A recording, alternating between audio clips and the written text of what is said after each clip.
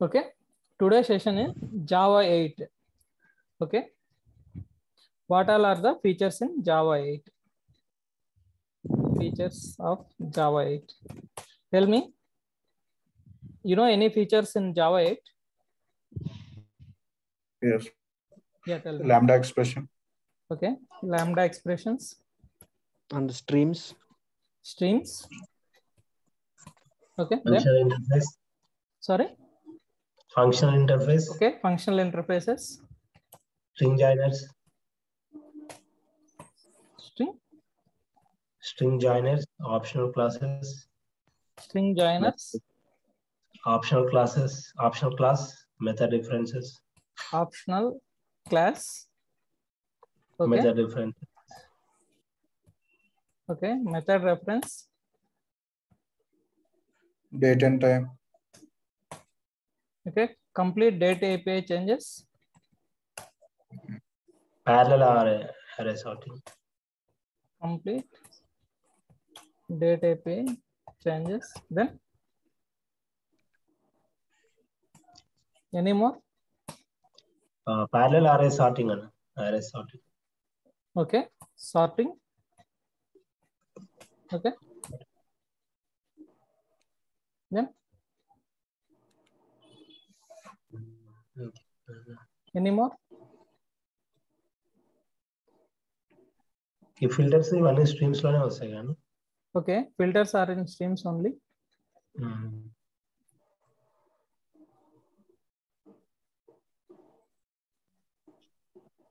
Default, default method static method default and uh, static methods functional interface.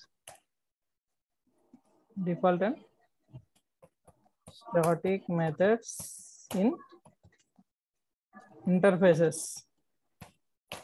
It may be in functional interface, it may be in any interfaces. Okay. Okay. Okay. Okay. These all are the uh, like uh, main features in Java 8. Other than this, we have like uh, um, JavaScript related. Some changes are also introduced in Java 8. Okay. Okay. First, we'll discuss each each feature in detail. Like why lambda expressions introduced, why streams introduced, why functional inter, uh, interfaces are introduced. Okay. You have any idea each uh, like uh, any one of the feature? Like uh, explain, take one of the feature and uh, explain why it is introduced in Java 8. If you have any idea. Ritesh? Mahindra? Hi, we function interface, um, uh, it allows only uh, abstract methods. Like when, as we know that uh, interface can allow abstract and non-abstract methods. Uh, to allow only abstract method, they came across function interface. And then for that, we use data function interface annotation, and it had a static and default method. And then coming to the streams to filter and sorting, they introduce that. Okay. I mean, to reduce the number of lines of code. Okay. The iteration process to reduce that iteration, the while has next and next method. Okay. Uh, mainly, their intention is to simplify the code. Uh, because of that, they introduce this. Okay. Before uh, about all, uh, why Java people introduced Java 8? That is the question. Till Java 7, we have many features in Java. Yeah. Okay. The collections we have like uh, ex, uh, expre- uh, exception handling, we have multi-threading, we have like uh, so many, so many, so many concepts in Java, in core Java especially. Why Java people introduced Java 8?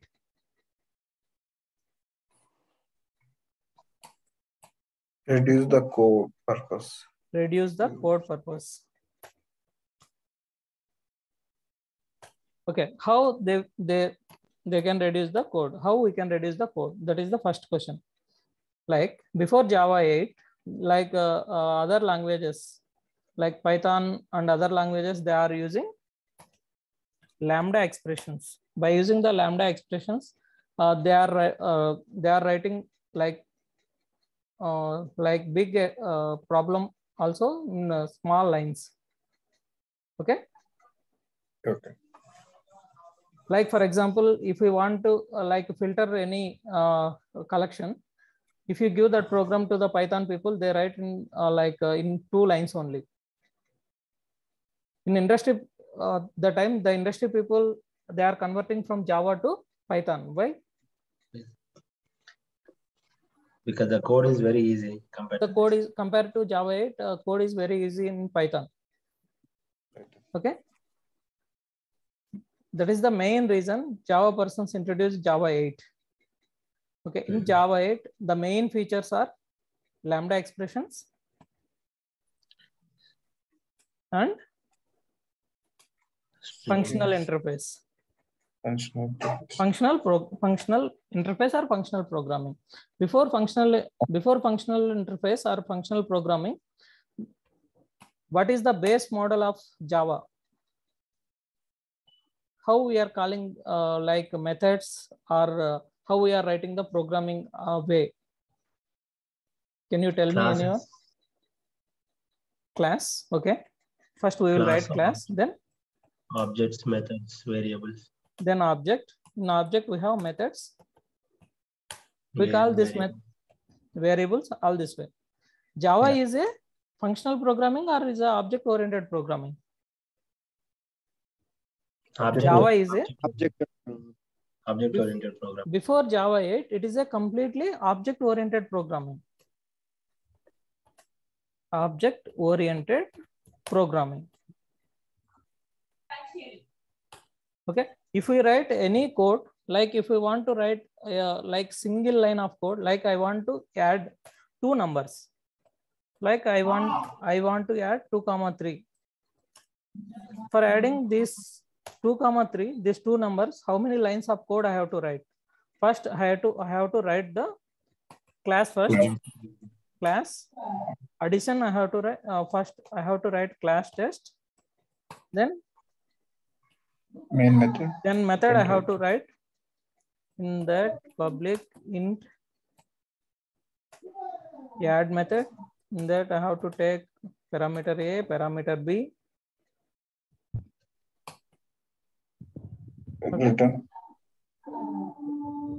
return Return a plus. b.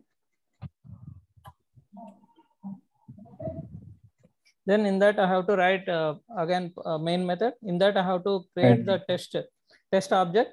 Then I have to from that object I have to call Call the test Method. test equal to new test test dot add. In that I have to pass two comma three. Then only I will get the output. If you give s- this program to Python people, they will write in two lines. Just they will pass two comma three. They will get the output. Okay. Okay.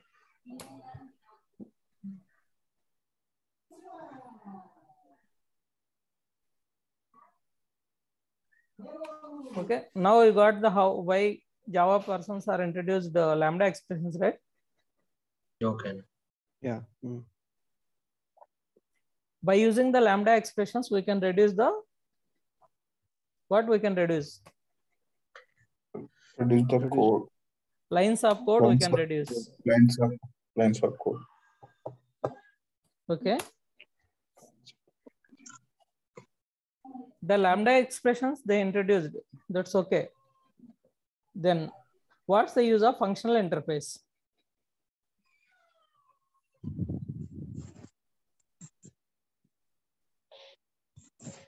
Object oriented is converted into functional program. Okay, object oriented is converted to functional programming. That's well and good. Then, okay. What is functional interface? You have any idea? What it is can allow only one, one abstract method at a time. The interface has only One abstract method. one abstract method. Then we can call that interface as Functional interface. Functional interface. Okay. That's okay. The functional interface has only one abstract method. Mm. Okay. why interface has only one abstract method